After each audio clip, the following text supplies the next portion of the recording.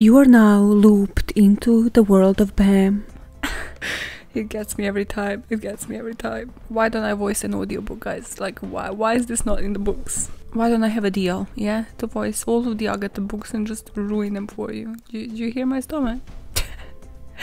I just had like two fucking jacket potatoes. Not that you care, not that you care. Another thing that you definitely don't care about, but I'm still gonna tell you, is that I feel like I'm gonna need to have like a course on becoming social again.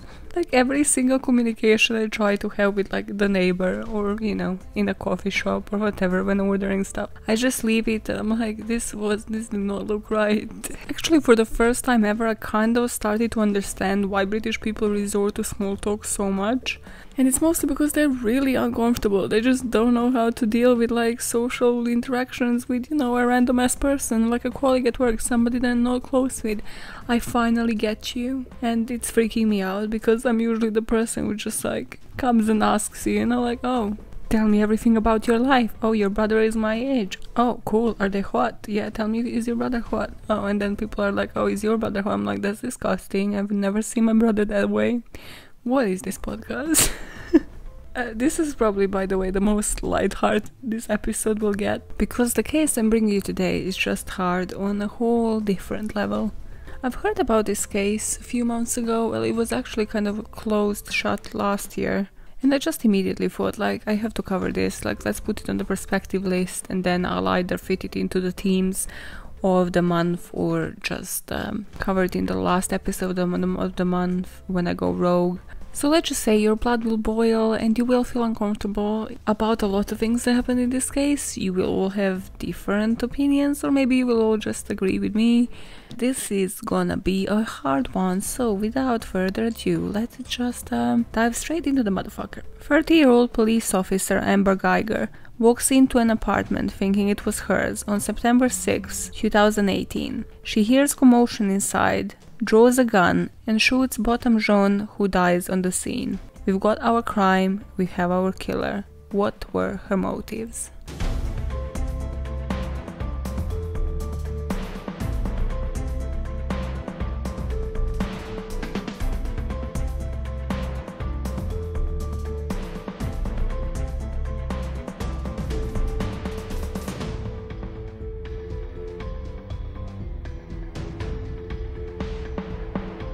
As the information for this case has been like taken mostly from either news articles or this one podcast i kind of want to credit them because they have done like such in-depth work and they kind of keep doing it for everything. So the podcast is called court junkie just breaks down a trial case per episode and it just so nicely broken down. And i just thank them for the work because about 85% of this whole episode is about what they focused on trial. So before going into that let's just run through what actually happened on this scene.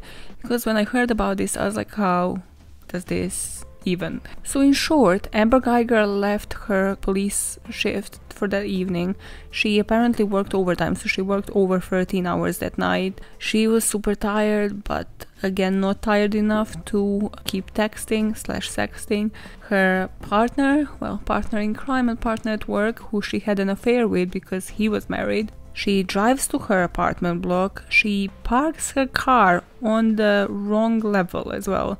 So, you know, like those level parkings. So, she parks up on the wrong level without noticing that she has done so. And it's one of those buildings where, you know, the parking level kind of has an entrance that leads to the apartment block. So, you can immediately access it through that door. Again, she doesn't realize she is on the wrong floor she puts the key into the lock. Again, she doesn't realize that the number of the flat is different and she doesn't realize that the door is kind of ajar. So when she just like even tries to put the key into the lock, the door just opens. And this is when she freaks out. And her immediate thinking is that somebody has entered her house. She draws a gun. According to her, she gives out a warning but who she thinks is the intruder still goes ahead, like goes towards her, and she shoots. She's still thinking this is her flat. She still thinks that like she just shot her intruder, so she makes a 911 call. As she's on the call with the person, they ask for like the address. She goes to the front of the flat, like so to the door of the flat, realizes that that is not her flat because it's a completely different flat number. And during this call, she just keeps repeating that she thought it was her apartment. She says it 19 fucking times during this call. 1478, yes. I What's missed- going I on? missed- I'm an off-duty officer. I thought it was in my apartment, and I shot a guy thinking that he was, thinking it was my apartment. He Shot someone? Yes, I thought it was my apartment. I'm fucked. Oh my god.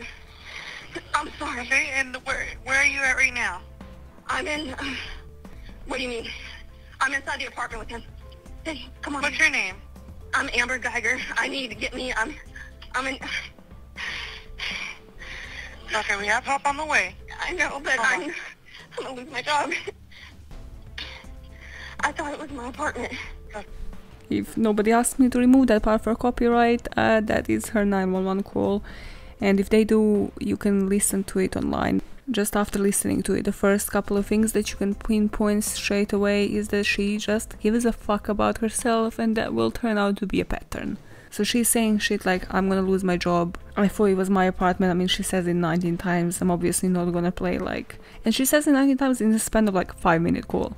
In the meantime, what you don't hear her saying is like, she asked at the beginning of the call, I didn't play that, for both the ambulance and the police. But what she doesn't keep saying is like, hey, the guy is breathing, hey, I'm gonna try CPR.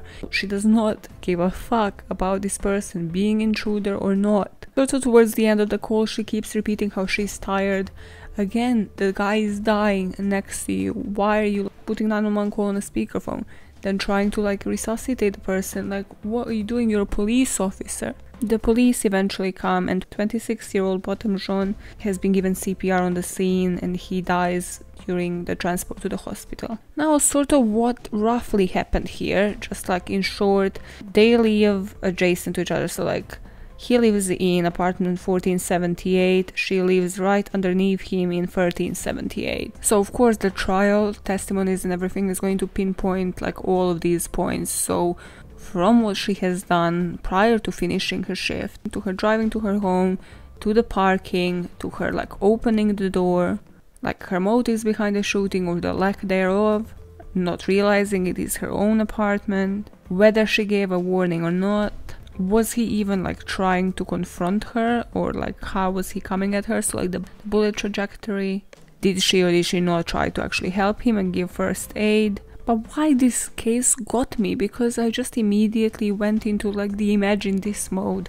This is how I try to present most of the cases. Like picture this, feel it on your own skin, and then I realized like when I was even trying to think about it, it's like yes, I can imagine myself sitting in my own flat, minding my own business. He was just sitting on the couch, eating ice cream and watching TV. In a sense, I can imagine that happening to me, but it is so, so far away. It's shielded by so many walls of white privilege that even though I can imagine it happening, it is so like far from reality, whereas it is reality for the whole of the black community. And I kind of feel like we need to start acknowledging that because nobody should fear just sitting at home, chilling, watching TV, minding their own business in their own flat, not doing anything at all, for somebody to just take their life away for nothing. Similar thing happened to Breonna Taylor. Like she had like been attacked within her own flat again on the no knock search warrant where they just like shot her. Her like shooter doesn't even isn't even serving in prison. They just uh, like the newest thing is that they have been fired from police force. I'm sorry.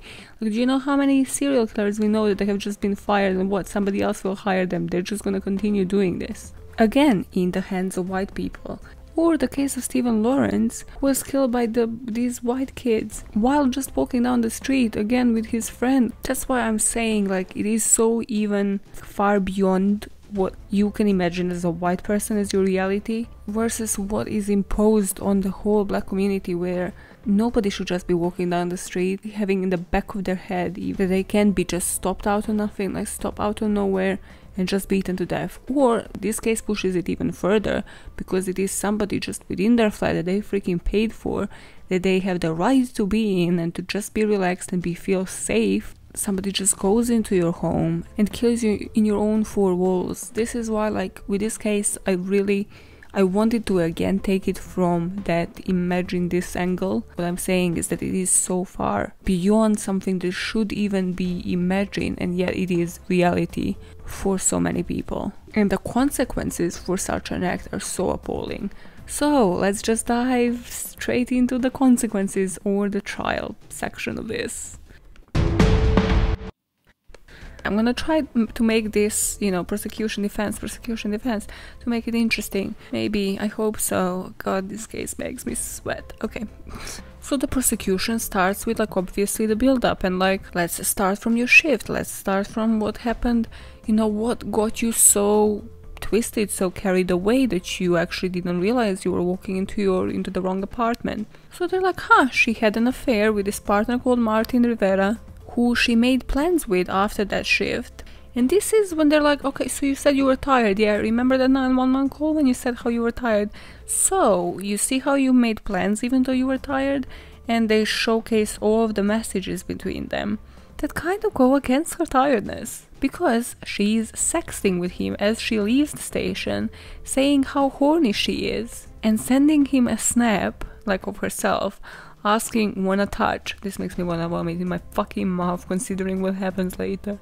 Even if she didn't go into the wrong flat and kill the person, this is just people, the lovers that are trying, listen, the side chicks that are trying to keep the married man interested, just have it all wrong in their heads. It's just, this is not how it works, but okay, it's like what have you seen in your childhood? What movies have you watched that made you think like this is how you're supposed to live? Like this is totally you know not gonna cause you to self-hate and you know think about yourself as like this great human fucking being? Now when i first heard this i was like okay cool. In her defense again not trying to sound like i'm defending her definitely not. Thinking if it was me and i was like tired but like still trying to you know like in my whole days in my hoeing days like still trying to be like oh yeah like horny whatever i would not send that kind of shit. But it might have been that she was just trying to keep it cool, you know, and like act cool and keep it all fresh with her fling. But boy, was it an unfortunate timing, girl. Was it an unfortunate timing if you were really trying to do that? But then also, if you are really shattered, you have had like 13 something hours of shift, you wouldn't even be thinking about that. You would just drop it completely. Just be like, yeah, fuck it. Like, I'm gonna go home, hit the bed. When have you ever been like that fucking tired and being like, you know what? That dick. Like now I'm gonna get the comments like Maya, you haven't been dicked in that. Like you don't know what the good dick is. Like bitch, I just wanna sleep, okay? Especially in that side chick relationship, okay? You wanna have good sex, you don't wanna have tired sex.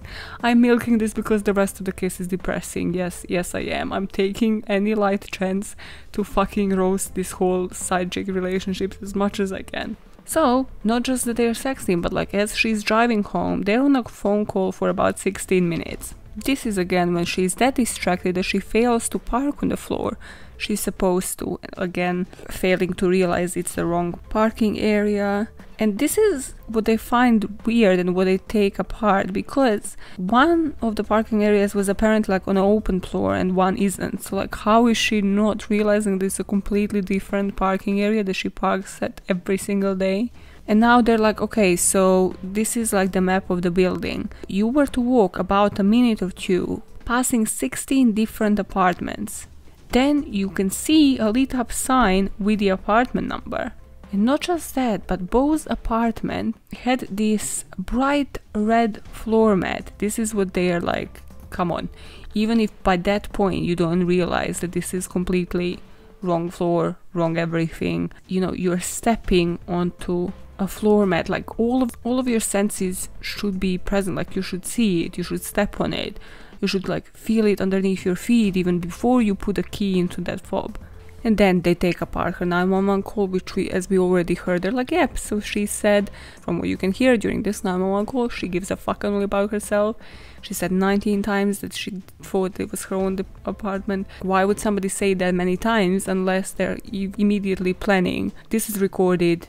This is gonna go on the record, like on my trial. Let me just try to save my ass, even like remotely. Which you would try to fake that you're helping the person next to the victim because then that can be heard on 911 call that can then go into your favor no nope never just like nothing no great And then they discover that during this 911 call, not just that she isn't helping Bo, but she texts Martin saying, I need you, and then followed by that, I fucked up. First of all, that's an understatement if I've ever seen one. Like, I fucked up is something you say, like, if you lose a wallet and, like, your ID is in the wallet, and, like, oh my god, I fucked up, like, I dropped it, I don't know where it is. So, like, oh, I went into the wrong apartment and killed a person, I fucked up. That's a whole different level. What prosecution then goes to tear apart is the fact that only those texts are actually available. They deleted the rest of the texts. So, of course, like, some of them, like those sexting ones, have been recovered, but then I don't know if they couldn't recover some of them or they just didn't present them. Later on in the trial, they're gonna question them both on why they have deleted these texts. But now, let's go to defense. Defense takes the stand. No, she takes the stand and defense has the turn. I don't know the trial terms, okay? What do you expect from me? Her whole defense team, their whole argument is that she had no choice but to use her gun to keep herself from dying.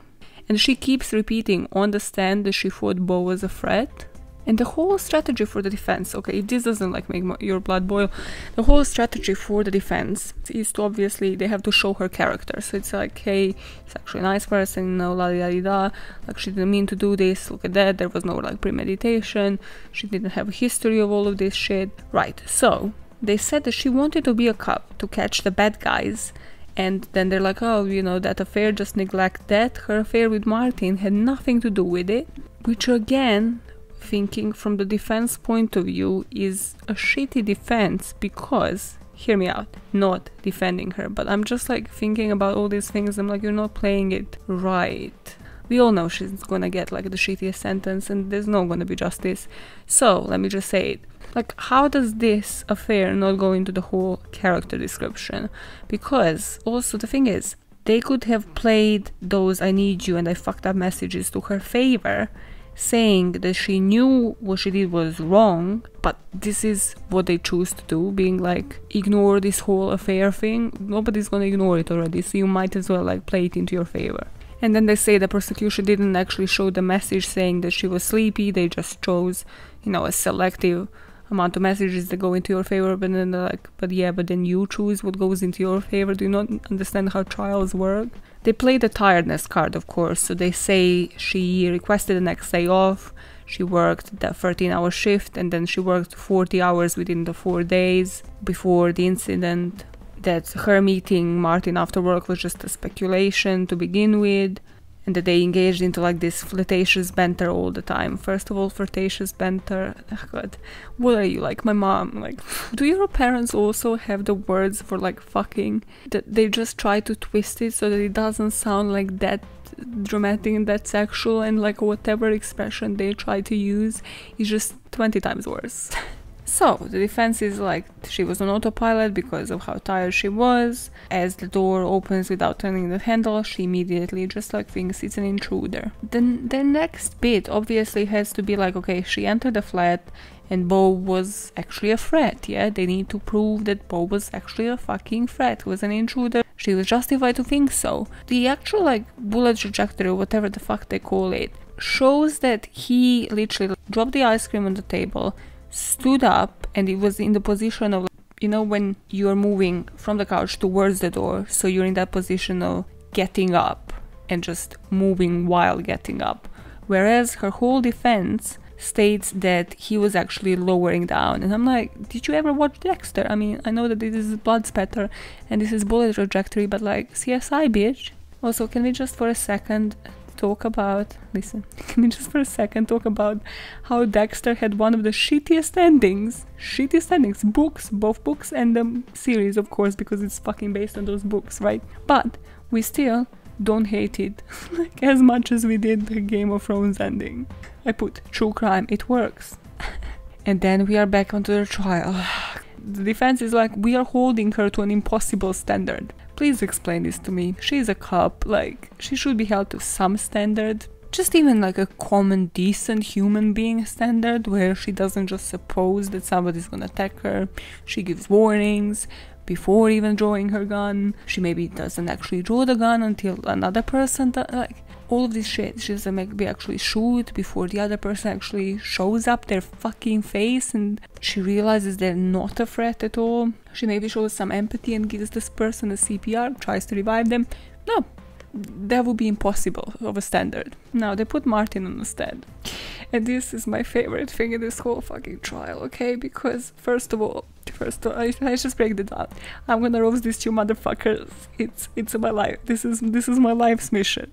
To like roast people that like fucking have affairs, okay? Because just for anybody out there thinking like affair is a good thing, just think about that because first of all they never end up well. But just think about the worst possible scenario. Are you ready to go into the affair where your dirty laundry, everything about that affair might actually go to trial one day? And then you're not just like an embarrassment to your wife and family and kids. No, like your whole fucking town, your whole world knows about your business. Yep, are you are you ready to do you accept those terms and conditions? Please proceed. Go and fuck a side chick. I put in the script, do you love your side chick? How about now? She has a murder charge. Do you still love her? How about now? So we're back kind of like with the prosecution and they grill Martin obviously. He says like, oh, you know, she just had like a normal day, you know, like it's it's chill. Yeah, she works those long hours every time. Martin's just like, yeah, let's throw this bitch under the fucking bus. He also lies about when the affair ended, like it's clearly it hasn't ended, but okay. What she said about the text is that she doesn't know why she deleted her texts. Again, great defense, great defense. Just plead the fifth then, bitch. Like, what are we on about? But he says he deleted them not to stay reminded of that night. Oh my god, this is so deep. Like, this is so tragic. He cannot live with this night. This night was so traumatic for him. Bitch, please, man died. But then after that, he says also he doesn't keep the messages that are of no importance to him. He literally like shading, like putting some shade on this relationship. Was like, yeah, you fucked up my life. I'm on trial now. I'm gonna be exposed. Go fuck yourself, Amber. Now they show the body camera footage, which shows that she was outside, like when the police came to the flat after the 911 call. And she's just again, not, it's not like 19 times was enough. She still keeps repeating that she thought it was her apartment. We're like, we got it, bitch. We got it. This is your defense that you do not care about no human life. We got it. Can we just like get to the person to actually help them out? We, we don't care about you right now. And also, why does the body camera show her outside?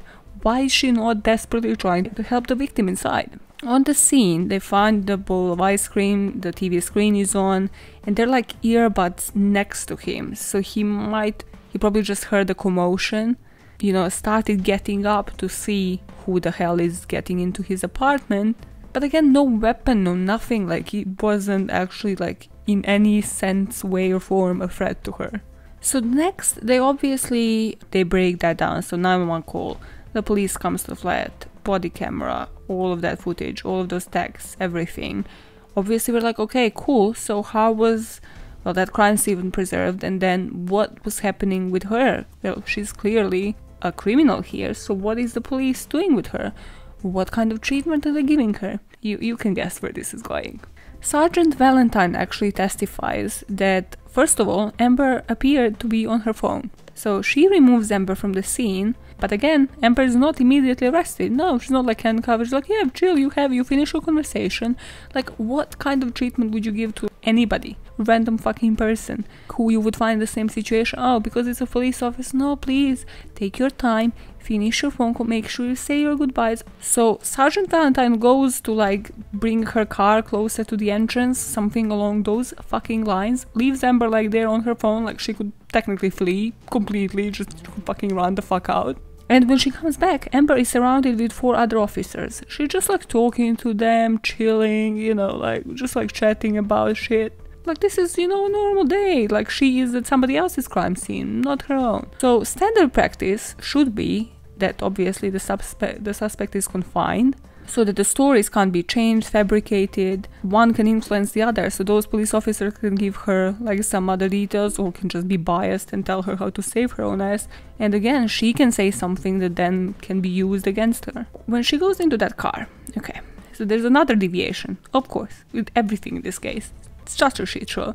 She's aware, obviously, there is in-car camera. So another officer who was superior to Sergeant Sergeant Valentine asked for it to, ter- to be turned off to get Amber like out of the camera view and just chat with her. And well, he was a superior to the sergeant, so she does that. And she says she did it because she thought Amber was on duty and she just wanted to speak to her supervisor. And just if you didn't guess, so far she's still on her phone. She's not handcuffed, nope, she's just chilling because the sergeant thinks like this is her crime scene or something, that she's still on shift. And everybody's kind of acting that way as well. Defense here jumps in and says like none of this was in her control, she didn't ask for any of it. Like finally they actually fucking take her and arrest her, but this was just fucking peak. Now, when they have all of this obviously broken down from the actual crime scene, they start calling witnesses to the stands. So they have a witness from 1437, Joshua Brown, who says he heard two separate voices. So he was in the apartment next door. So he said he heard two separate voices, but they sounded like they were meeting each other with surprise. He doesn't hear, show me your hands, nothing similar to that. He gets freaked out when he hear- hears the shots, runs back into the garage, waits for two minutes, then walks into his apartment, and two, three minutes later sees Amber coming out of Joe's apartment on her phone. So this is her calling 911. Which again, it's what, two, three minutes past? She just walks out to call 911. It's like, yeah, but I just walk around, calm myself down while there's a person bleeding on the floor regular police procedure. I'm trying to pinpoint that this defines Amber's character more than anything in this freaking story. There's another witness who is Robaldo Jones and he parked and saw Amber there, so he like saw her from the parking spot area. So he remembers seeing a white pickup truck driving super fast from there and then backing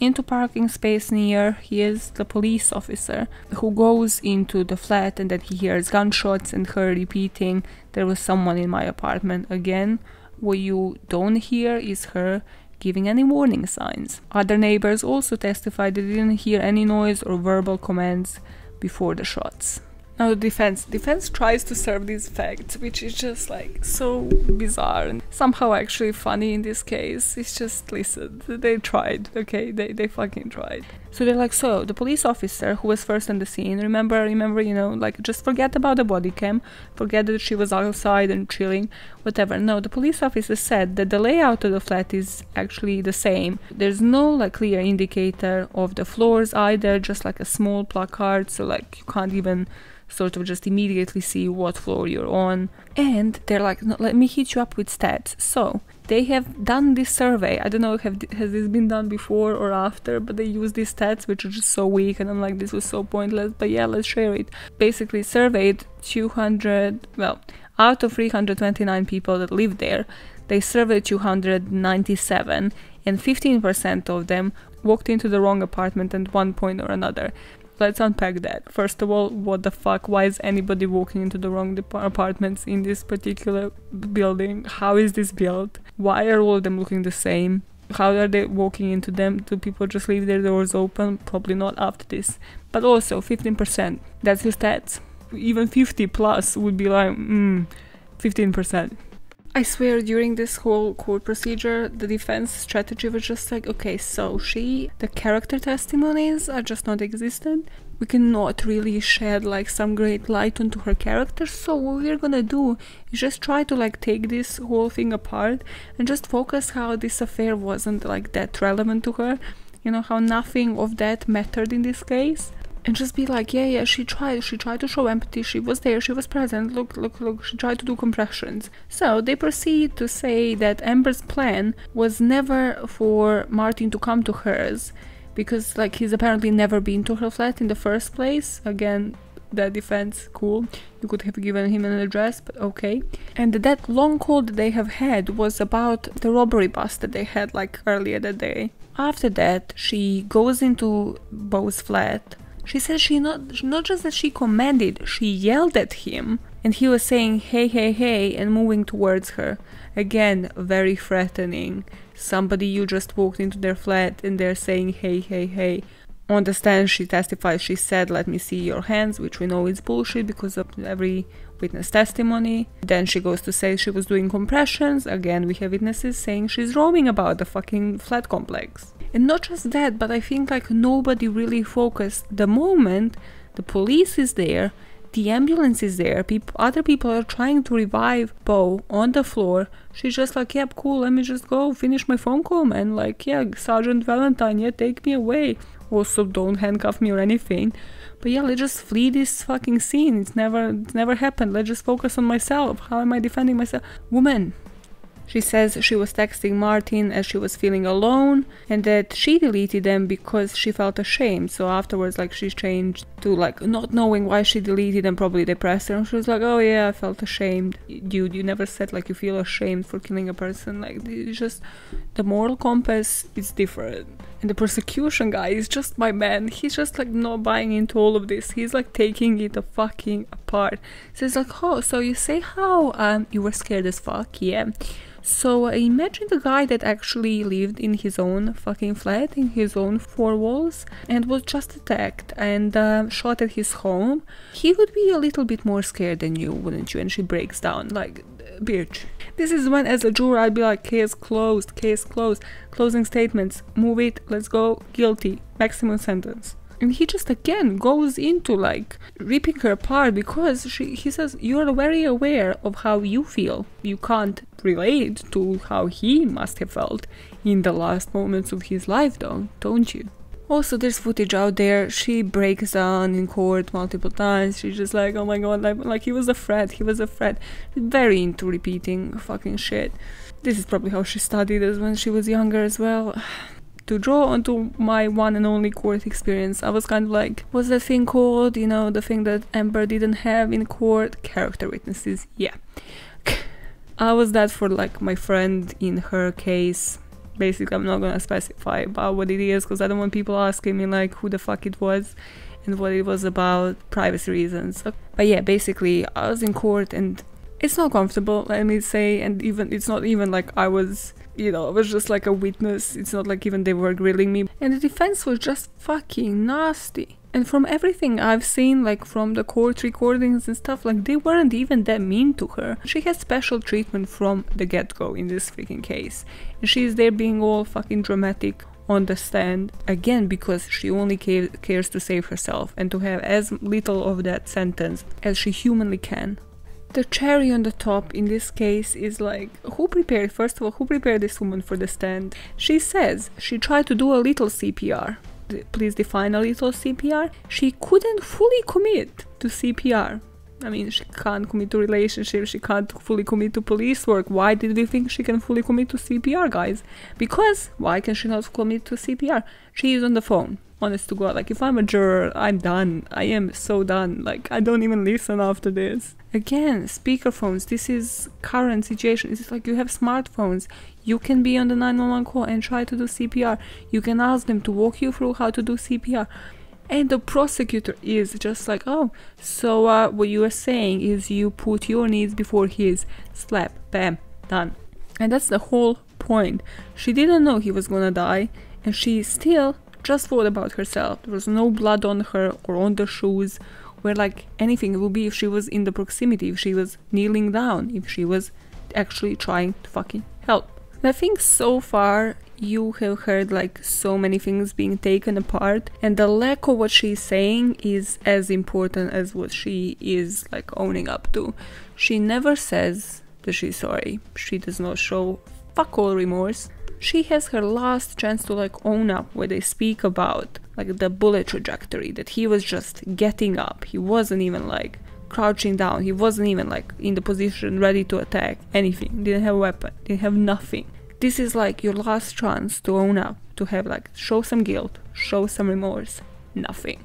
Now before going to closing statements i feel like everybody will kind of well want me to cover this but also will wonder why the race card wasn't as prevalent here, for example, or why it like wasn't played by the prosecution as much. And I feel it's because there was the lack of and just because of what the whole crime is. It's about proving whether or not she thought the guy posed a threat and that was like the whole premise of it versus like whether she has actually seen, I don't know, the color of the skin whether she has had time to actually judge on it and then like shoot because of that. Which could have been a missed opportunity. I don't really know. Like, I would like to know what you think, but obviously in court they show these texts between her and Martin and they are basically like chatting about other colleagues so about like the situation at work oh no he says not racist but i'm here with these different black officers she responds not racist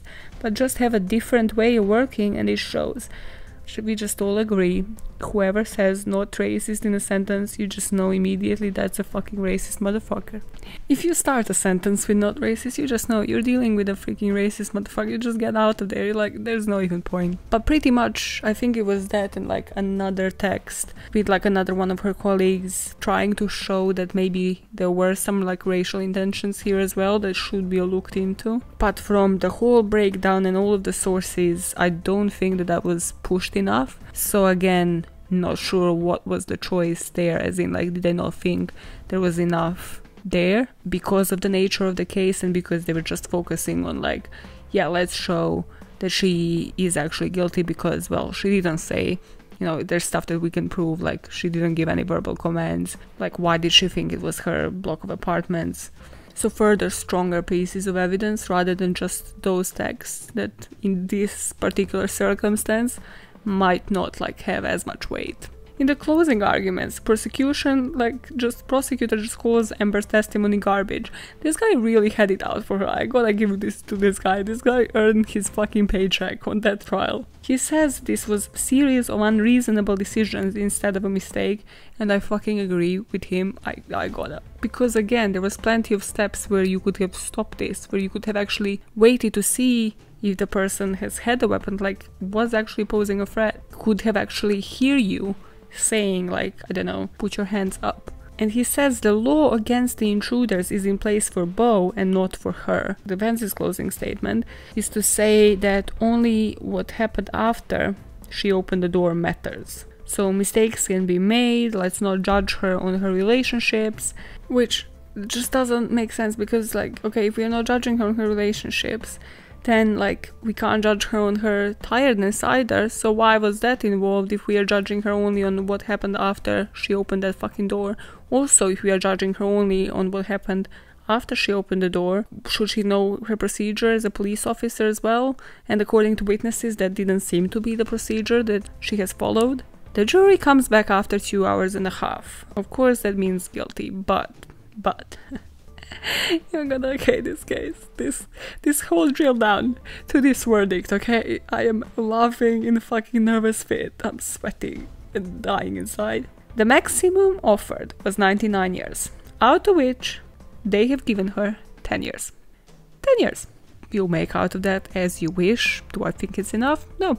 I think it's yet again special treatment that any other reasonable, like any other person committing that kind of crime would not have gotten. But because she's a police officer, she does. What I found interesting is that actually, because I looked up, because obviously when I saw this, I was like, okay, these jurors must be like white, privileged, whatever, middle class. Out of 12 jurors, 5 were black, 5 were Hispanic or Asian, and 2 were white. So, do I understand this? I truly don't. It's like minorities, like, I know it's not racially intending crime, in which case they would have probably given her more, but then it's like this is your time to shine. This is your time to like actually make a rational, like reasonable fucking decision that's proportionate to the crime. Prosecutors actually asked for 28 years based on the age Jean would have attained had he been alive today, which fair more than 10 at least. And then there is this just heartbreaking thing that's shown online on the news everywhere where like John's brother Brandt Jean said on the stand like he forgives her and he doesn't want her to go to jail. He wants the best for her because he knows that's exactly what Bo would have wanted. And then like he asked the judge can he hug her and he just like hugs her in, in the court and everybody's kind of like judging him on this and being like how can you like forgive the person that murdered your brother which for that part i can understand because it's like okay if the family decides to forgive her that's on them that's their closure that's them moving on like, at least she was given some sentence they can now you know move on leave this part like in the past and remember both for like who he was before this sentence. What I don't understand is that the judge in this case then also embraces Guyger and gives her a Bible. It's like, Judge, okay, first of all, chill. What the fuck? What is this bias? But also, you're not. It's not like you gave her her own autobiography, mate. She's not. You think she's gonna read up a Bible? It's not about her and her life story and how she is a victim in a story. Why would she read that? Sorry, that doesn't go into her argument. Okay, the trial is done. The trial is done. And the fun fact that doesn't fit anywhere, but it just has to be fucking mentioned, is that Amber is actually in the same prison where Yolanda Saldívar is. And Yolanda Saldívar is the person that killed Selena. And I'm gonna research this one day. But just listen to this. Listen why I haven't researched this. It's just because Yolanda has the most fucking disturbing voice. It's that voice that you hear and immediately feel fucking goosebumps. This is what I would have to endure, okay? This is her 911 call. Listen to this bitch. I forgive myself. Yolanda, you were talking about the only friend you ever had. Who was that? That's my only friend. That's my only friend. What was your only friend's name? I don't want to tell you. You don't want to tell me? No, but it was my only friend. Yeah, this is what I'm on about. But again, in my head, as you know, like my head immediately goes to me thinking about what conversations Amber and Yolanda would be having in prison. I can just imagine them both in the canteen, these two having the most boring conversations where they just keep repeating themselves. So, like, Yolanda would be like, I didn't kill her, I didn't kill her. And then Amber would be like, he was a threat. I thought it was my apartment, and everybody would just be like eating that fucking shitty canteen food, being like, why? Why do I have to endure this? Prison is punishment enough. Like, how are these two creatures in the exact same fucking prison? Just wanted to share that fun fact with you, because this is what goes into my head when I research. You know, I immediately check who is in the same prison, and then like imagine conversations they would have in my head. It makes me feel better about myself somehow. I don't understand it either. Okay, moving on. Now let's uh, go into the background for both Bo and Amber and see what we can piece together there. So, Amber Guyger, background, let's do this quickly, cause fuck her.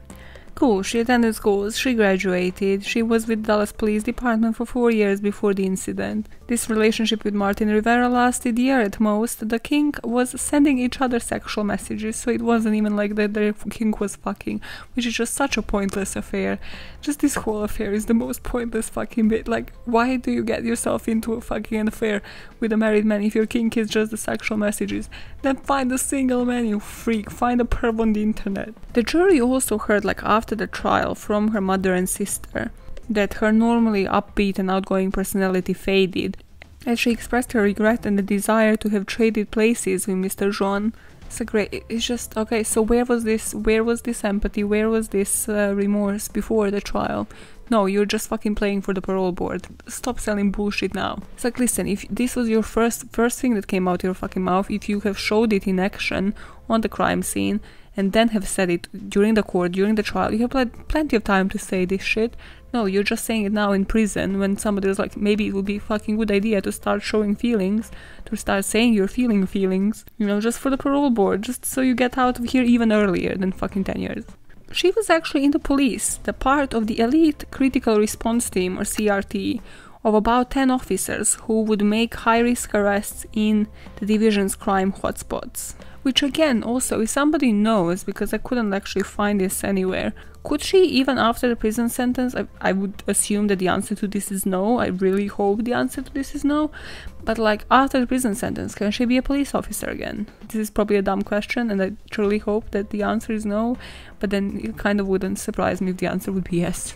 Unfortunately, this is a fucked up world. So, whereas she had her mom and sister and, uh, you know, maybe her lover to kind of like testify to her character, Bo actually had like a whole fucking community built.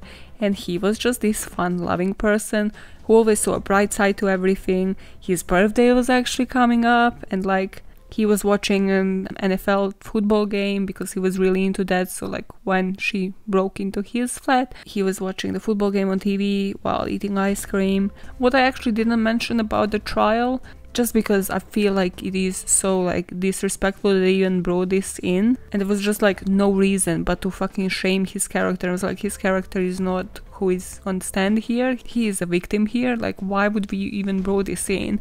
It was sort of like trying to prove like Amber should have known that this was the wrong flat because it had like a smell of weed.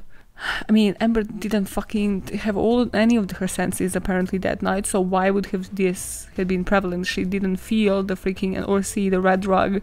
So clearly, the smell of weed apparently wouldn't have meant anything to her. So again, kind of like why bring it in? So his family actually had to say like that he had ADHD and he would like smoke weed to calm himself down. Which again, like you don't even have to go through this. So his whole family is St. Lucian. Um, they came to the US. He actually studied accounting at Harding University. After which he went to work for PwC in downtown Dallas, and both PwC and Harding Uni published like statements after he was murdered to like testify to his character and to sort of like express some condolences to the family as well. He was really involved in like the community church.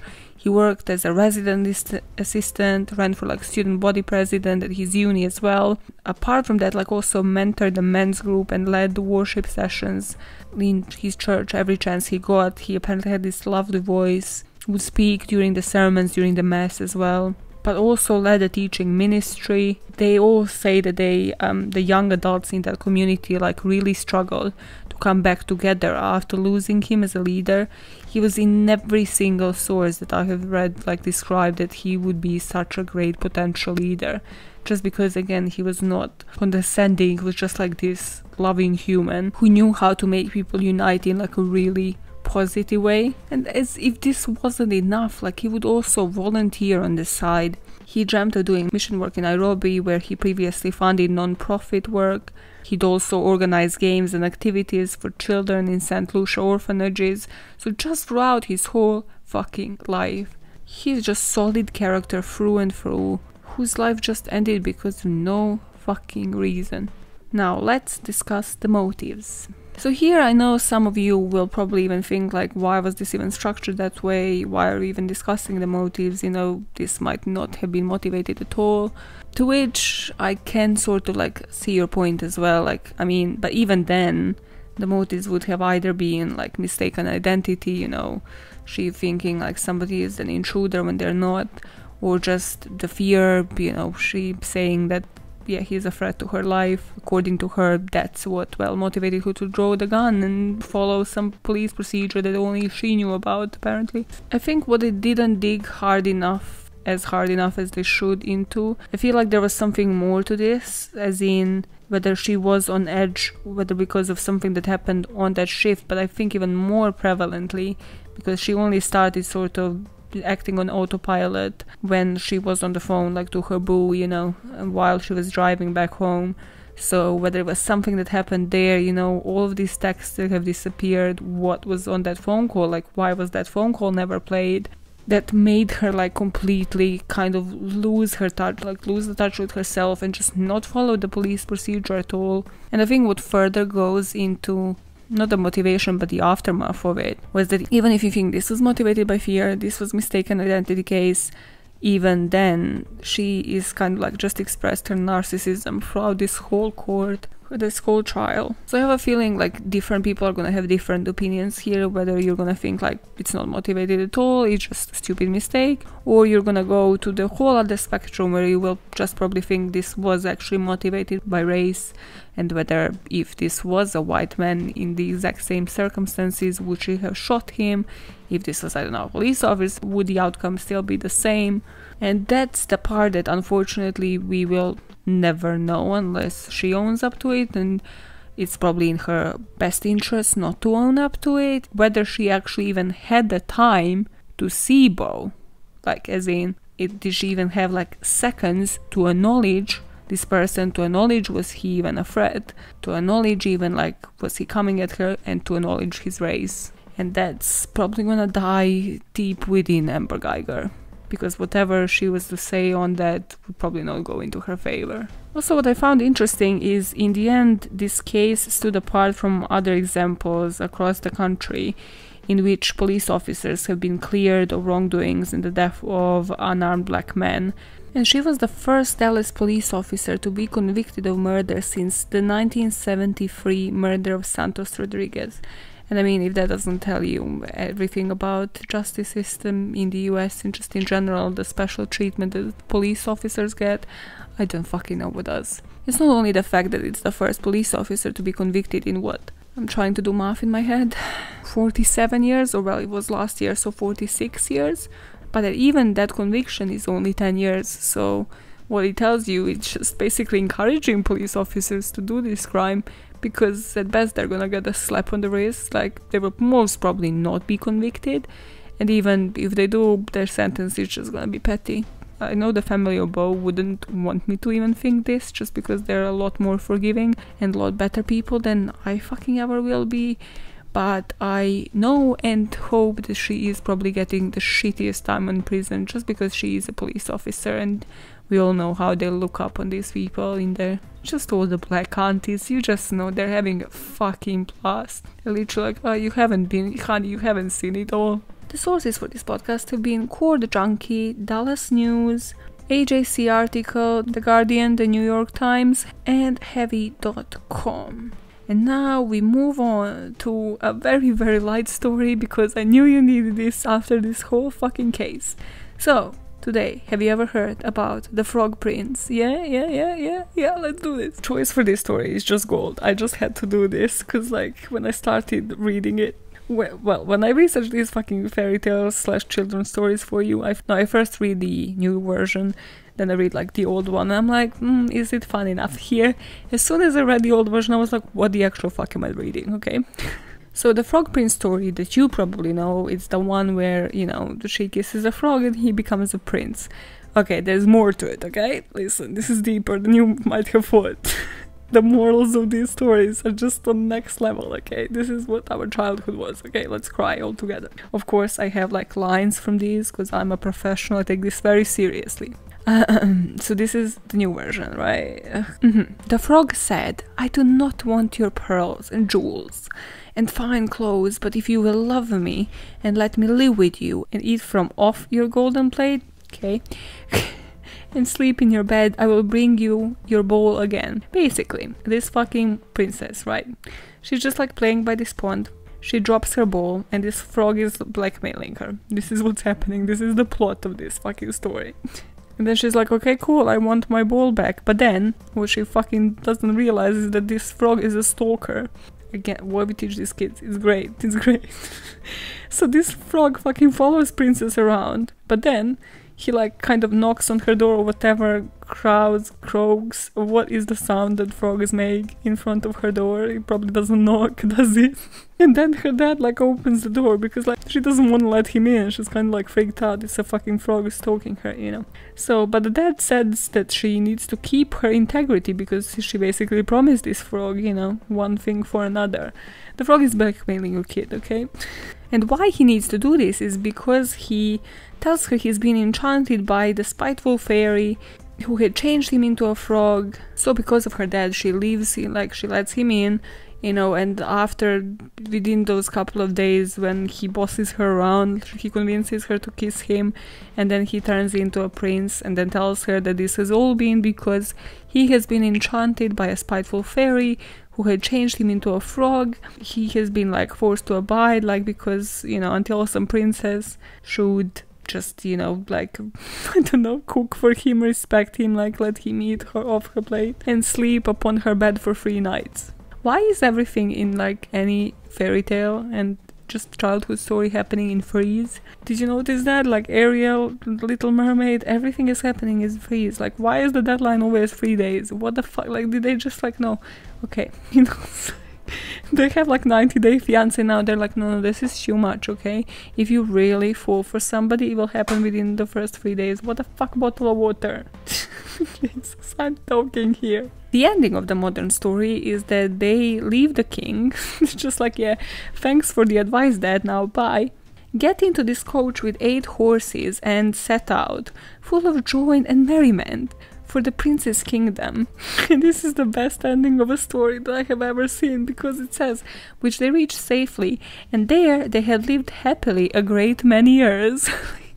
I loved it not happily ever after. Just like, oh, they lived happily for a couple of years and then they fucking started fighting and they divorced, okay? Fuck it, modern day. We're still not selling the dreams to the kids of happily ever after, nah. So the moral of this story, I guess, is like stick to your promises and then you're gonna be rewarded, something along those lines. Let stalkers into your life, especially their frogs. Yeah, animals sh- should definitely be allowed to stalk you. What the fuck? now Brothers Grimm come to play. They were like, no, no, no, this is better. Listen to this. 1812. This wasn't even called the Frog Prince. No, they had this title, and this character in this story is completely relevant, and I love it so much. Brothers Grimm constantly just never failed to surprise, never failed to fucking enchant me. Okay, did I just translate and cantar? It's like me encantan, okay? Modales, por favor. Okay. So, this story was called The Frog King or Iron Heinrich. So, here, Princess is disinterested, but the Frog Prince continues to court her until he is upon her in her bed. Okay, this is like not just a stalking level. This frog is like, I'm gonna rape this bitch. Listen. Princess throws him against the wall. And this aggressive act turns him turns this frog into a prince. There's just so much to unpack and it's so wrong, but it's so fucking right, okay? Well, up until now, okay? Don't let frogs rape you or anybody. And there's an alternative version where the princess chops off Frog's head and leaves him bloody and nearly dead. This too converts the frog into a prince, logically. Like, duh. Also, I love, like, Brothers Grimm are kind of like, no, no, this is not grim enough, this is not too fucked up. They just have a version where some parts of their body are chopped off. When she throws him onto the wall, she says, Now you will have your peace, you disgusting frog. But then he falls down. He's not a frog, but a prince with beautiful, friendly eyes. There's no like conversation that they have had that night, like you know, with this weird shit that just happened while you know he basically tried to rape her as a frog. No. And he was now, according to her father's will, her dear companion and husband. How, bitch? How, like, did you not explain the circumstances where this has happened? Does he not understand consent? This fucking story. So he tells her the enchanting version, yeah, that's not by a wicked witch. She alone could have rescued him from the well. Great, great, all great. And tomorrow they would go together to his kingdom. Great, sounds legit. And then they fall asleep. What is going on? He is in your room. Who is this guy? You just had a frog, now you have a human. Where is the consent? Why do you fall asleep next to a stranger? Oh my god, this story is so wrong in so many ways. Now, who the fuck is Heinrich? Heinrich is his servant. Let me read this to you. Once again, and then once again, the prince heard a cracking sound and thought that the carriage was breaking apart, but it was the bonds springing from faithful Heinrich's heart because his master was now redeemed and happy. Ah, such bullshit, I love it. also, this one article that I read, like, moral of the story is it that love hurts? Like, uh, what? love should hurt and then somebody like appears in the true character is that your point or maybe this is kind of like a boogeyman story, you know, like you shouldn't let people into your fucking house and you shouldn't sleep with a stranger. Maybe, no, nope, this was like fucking prequel to Tinder. Also, nothing will ever convince me that Brothers Grimm like, weren't fucking constantly high, and also that me and them wouldn't be just like the best of friends because they were fucking disturbed that's it for this week, guys. Like, you know, I had a tough case and then I had to have like the most jokingly fucking mini for you. Now, as you're headed into your next fucking Zoom call, or I don't know if you started working from the office already and your company is just wrong, and then you have that meeting in person, which case, how awkward. So, in that case or any case, you go into that fucking meeting and you ask those people, do they know about any real story of Brothers Grimm behind these fucking fairy tales that have been embellished for kids now? So, especially ask them parents, okay? These parents need to fucking know what is up. And especially ruin it for those like girly girls who are like, oh my god, Disney, I'm a princess. Those people that you have stalked and you have realized that they have like a history of dressing like a fucking Disney princess on Halloween. Yeah, those are the bitches that you target, okay? And you're like, oh, remember the one with the frog prince? Let me just destroy it for you real quick. And this is how you start up conversations, you know, this is how you start up conversations on consent especially like imagine if you actually read this story to your fucking kids the brothers grimm old story people would be like yeah this is wrong like the kids would be like no you shouldn't like sleep with somebody who just turned from one person to the next well from one animal to the other but hey even the kids would be like, no, did he get the permission to do this? Why is he here? Why is she suddenly still letting him be here? You know, why did she slap the shit out of a frog? Why is there abuse of an animal here? I'm being such a literalist, Linda. Like, I'm like, oh, oh my god, listen. Let's take everything that these people have written literally to the word. Yep, that's it. You go in and explain your colleagues how love hurts, but it's worth it afterwards.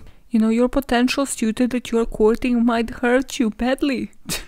you might need to blackmail them into like getting into their house, but hey, is it all worth it in the end? I don't fucking know. it's up to your interpretation. It's been a long day, fuckers. I am out of here. You keep doing anything you need to do by all means necessary, but most importantly, you know why we are here to make this world a better place. By all means necessary. One motive at a time. Let's do it. Goodbye, fuckers. Happy Monday.